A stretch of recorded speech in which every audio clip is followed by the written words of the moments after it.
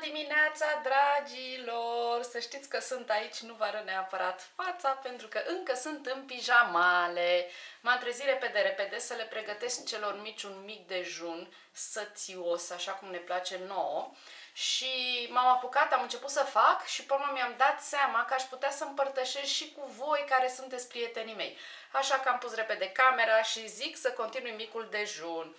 Uh, uitați ce vreau să fac astăzi. Am pregătit iaurt, e ceva simplu, simplu de dimineață. Este un iaurt grecesc, l-am pus deja. Uh, vreau să-l prepar cu ceva fructe și atunci am folosit smeură, smeură, uh, mure, pardon, mure congelate, dar vreau doar să vă arăt, v-am mai povestit eu odată, copiii mei sunt destul de pretențioși și atunci de pretențioși și în ceea ce privește semințele, am blenduit murele și am strecurat uh, aici într-o strecurătoare astfel încât, uitați cât de multe semințe rămân, uh, ei nu le mănâncă și atunci am zis ok, trebuie să găsesc o variantă astfel încât să le mănânce, pentru că este păcat de cât sunt de bune aceste mure delicioase, sunt delicioase. Uh, mi se pare că anul ăsta mai mult ca oricând am, am consumat uh, mure, pentru că am și avut destule în congelator. Uh, deci după ce le-am strecurat, le pun înapoi în în recipientul în care pot blendui.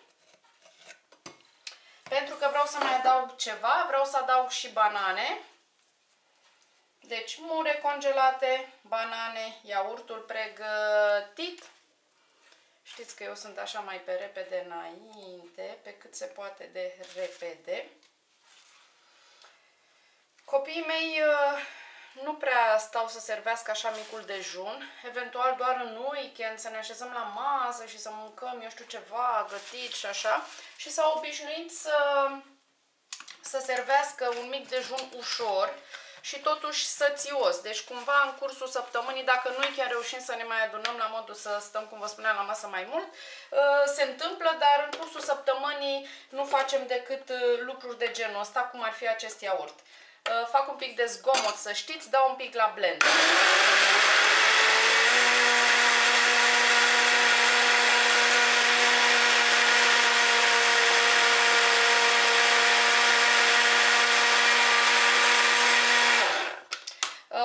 Place și doar cu mure, dar uh, pentru că sunt uh, un pic acruțe, am zis să adaug și un pic de banană, să le dea dulceață.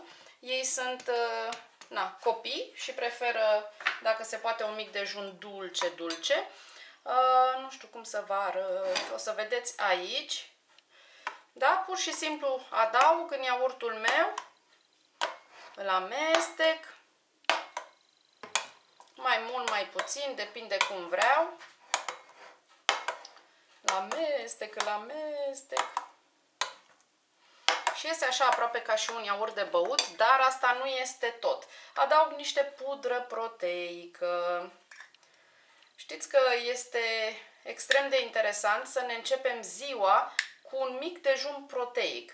Uh, proteinele sunt cele care ne dau forță cumva și ne susțin pe întreaga zi și da, este de preferat să le consumăm dimineața, mai, mai bine în prima parte a zilei decât în a doua parte a zilei. Uh, iar eu uh, sunt uh, fan pudră proteică, eu sunt printre cei care nici nu consum carne, consum doar pește, dar cred foarte mult în această sursă de proteină și cred foarte mult că este necesară amestec bine, bine, bine, bine, bine, bine. El acum a devenit precum un iaurt de băut, câteodată pun uh, mai multe fructe, câteodată pun mai puține fructe. De data aceasta a ieșit așa ca și un iaurt de băut. Vreau să vedeți cât de bine se vede în pahar. Da? Mai amestecăm puțin. Este bine să se dizolve pudra respectivă.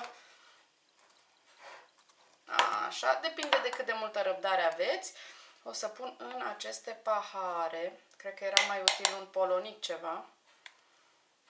Uh, să știți că mai sunt și uh, sunt rămase și bucățele de banană, nu s-a blenduit foarte bine pentru că m-am grăbit. Ia să vedem. Deci arată extraordinar de bine. Abia aștept să gust. Mmm, yummy, yummy. Ia uitați cât de bine se vede în pahar.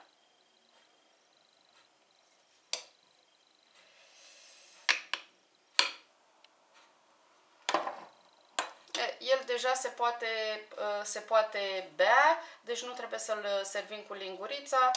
De obicei eu le pun în pahare de plastic, dar acum pentru că avem un pic de timp am zis că le putem servi acasă. De ce le pun pahare de plastic? Pentru că cele mai multe ori le servesc copiii în mașină, în drumul către școală, către grădiniță.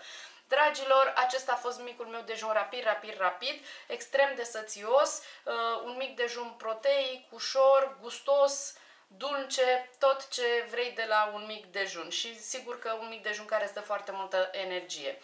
Uh, până data viitoare, nu uitați, dacă încă nu sunteți abonați pe canalul meu, să dați acolo, să, să dați cu degețelul, cu mouse-ul, să puneți subscribe, să găsiți și butonul de uh, clopoțelul care să vă poată anunța de câte ori încarc un filmuleț. Vă las, dragilor, la revedere, să aveți o zi minunată și nu uitați că de noi depinde să fim sănătoși. Vă pup, pa, pa!